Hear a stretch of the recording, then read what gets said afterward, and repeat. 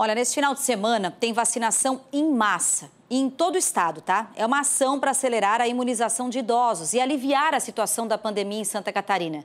Vamos voltar então a saber com a Kelly Borges os detalhes? Pessoas com mais de 75 anos, inclusive em Joinville, já podem agendar horário para receber a dose, Kelly.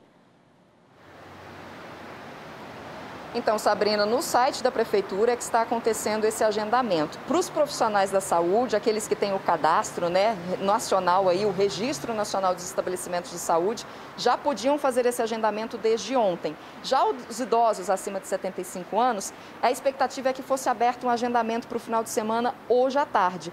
Inclusive, nós recebemos várias mensagens de pessoas dizendo que não estavam conseguindo fazer esse agendamento. A explicação era essa. Só que agora há pouco a gente recebeu a informação de que já está disponível, já foi aberto. Então, se você precisa fazer esse agendamento, já pode entrar no site da Prefeitura, que agora você vai conseguir.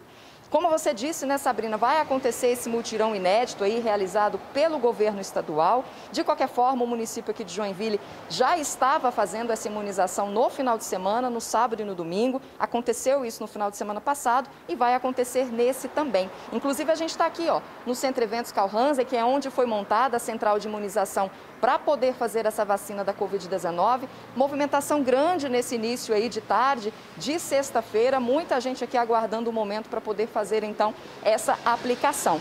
Vale destacar que ontem o governo municipal recebeu do governo estadual 6.300 doses.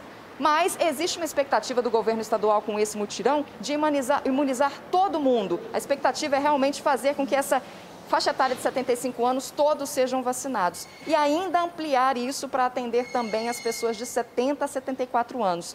Por isso, o Estado vai encaminhar nova remessa de vacinas. São 73.700 para 17 regionais.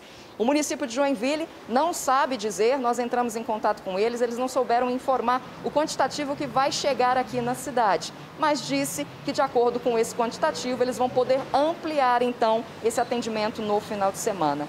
Vale reforçar, Sabrina, que até agora o município já recebeu 29.601 doses da vacina e também é importante as pessoas que estão se vacinando saber que elas já saem daqui, depois de tomar a primeira dose, com o agendamento, horário e data marcados para tomar a segunda dose. E é importante completar essa vacinação certinha. Então, para quem toma a Coronavac, o prazo de intervalo entre uma e outra é de 28 dias e da Oxford o prazo é de 90 dias. Então, Sabrina, só reforçando, idosos acima de 75 anos já podem entrar no site da Prefeitura e fazer esse agendamento para o final de semana.